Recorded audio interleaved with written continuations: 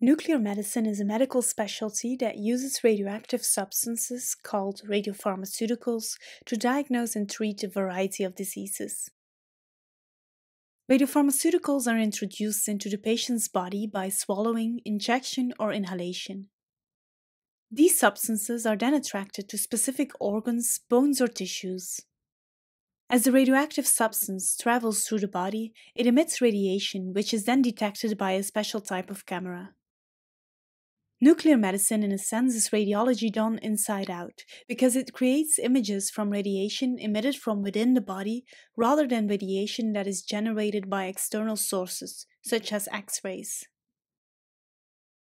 Nuclear medicine is unique because it images organ function rather than just the anatomy.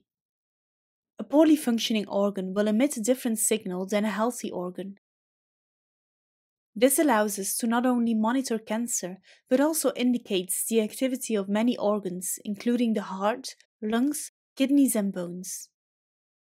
Although nuclear medicine is primarily used for diagnosis, it can be used to treat diseases as well. For example, for the treatment of brain tumors or for pain relief from certain types of bone cancers. Some people might be alarmed when they hear the word radioactive, but nuclear medicine procedures are among the safest imaging exams available.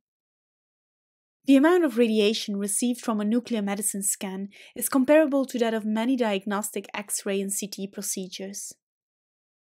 And because nuclear medicine procedures are able to pinpoint molecular activity within the body, they have the potential to identify diseases in its earliest stages, often long before other tests are able to reveal abnormalities.